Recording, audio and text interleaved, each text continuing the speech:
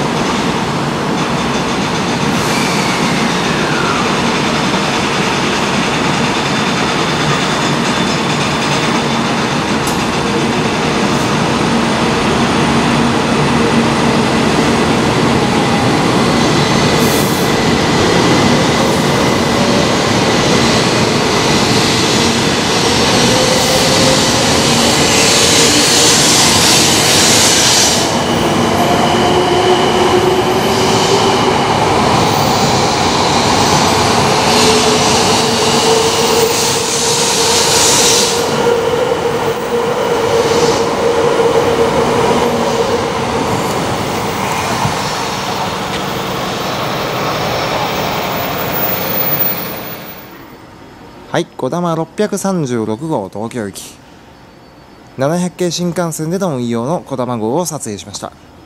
もう片方下り列車は浜松駅をね夜の9時過ぎ夜間の走行です。こちらの列車はねまた後日撮影したいと思います。はい先ほどの動画からね2週間ほど経ちました。が、えー、現在浜松駅夜の9時20分になります。9時20分到着9時22分発の小玉683号。こちらは700系で運転されていますのでまもなく列車が到着すると思います。15号車です。この電車は各駅に止まります。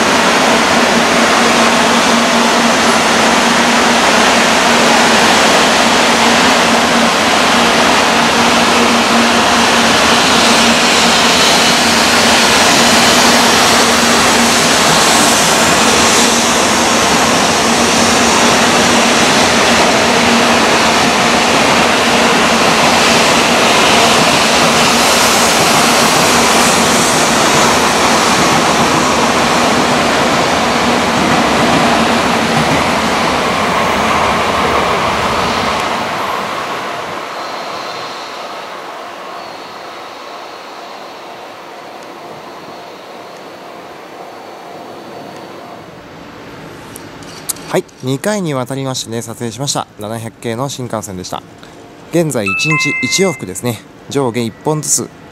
2本の列車に小玉号として700系が充当されております。もう10月に入っていますのでね。